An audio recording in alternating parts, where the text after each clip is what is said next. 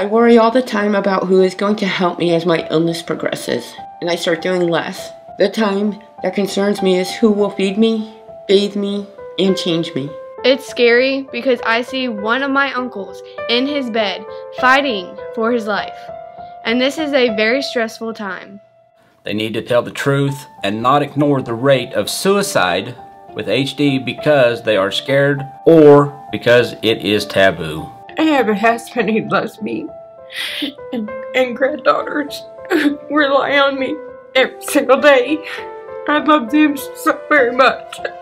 Honestly, having a child with a diagnosis of juvenile Huntington's disease is like living in a nightmare that you can't wake up from. So my symptoms got really bad. It affected my job as a special ed teacher. We had to move out of our very nice house, but it was very difficult for me. Just a problem that every HD family faces. They might not want to talk about it, but it's it's there. As a mom, you just want to protect your child from everything, including this devil's disease. And I know ultimately this is her decision to be tested. The last straw was the night he came home drunk. He attacked me while I was holding Jennifer. That was when I finally made the decision to divorce my husband, James.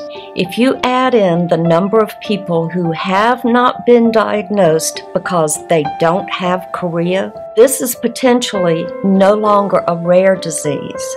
So much has happened, but now the disease progressed so quickly, and now John is here in our home on hospice.